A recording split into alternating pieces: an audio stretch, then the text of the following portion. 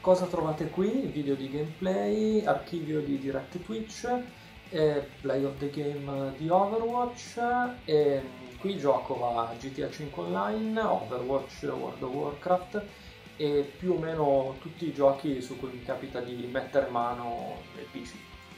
Spero che mm, vogliate seguirmi in futuro e che i video vi piacciono. Ciao a tutti!